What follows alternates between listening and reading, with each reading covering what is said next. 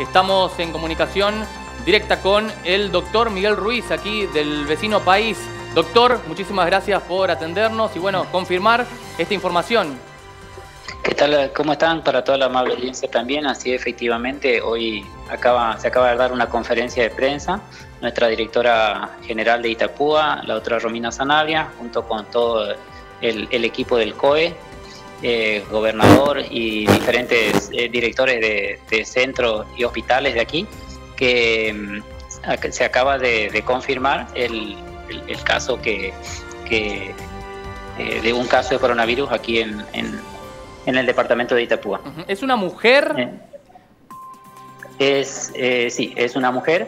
Es, entra dentro de la edad adulto joven y la, felizmente se encuentra en buen estado de salud, se encuentra bien y se encuentra con el seguimiento con el seguimiento que corresponde de la parte de, de infectología, ¿no es cierto? Que es el que de ahora en más se le va a hacer cargo hasta que se le levante su, su cuarentena.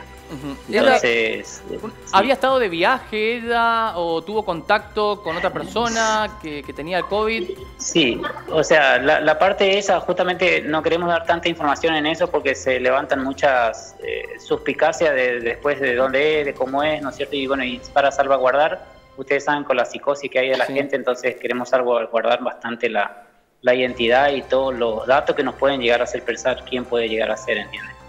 Entonces, eh, lo que sí, la buena noticia es que eh, el paciente eh, clínicamente está muy bien y está estable y vamos a esperar que cumpla su, su ciclo correspondiente y le vamos a hacer las muestras que corresponden nuevamente para hasta que negativice y para darle su alta definitiva. Doctor, ¿hay otros casos sospechosos en Encarnación?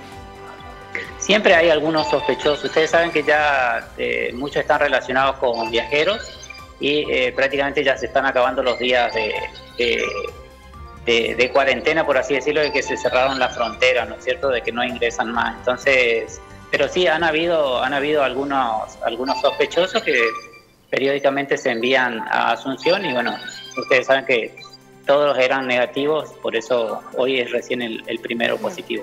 Doctor, la situación en cuanto a los controles que se realizan allí en Encarnación, ¿cómo es en estos momentos? Sí, o sea, estamos igual que allá, o sea, la gente está, está cumpliendo su cuarentena en sus hogares, hay una disposición del presidente de la República eh, y con las excepciones eh, que ustedes probablemente ya conocen, que son aparte de algunos negocios abiertos o la parte de transporte, algunas, algunas, hay algunas excepciones que se están manejando.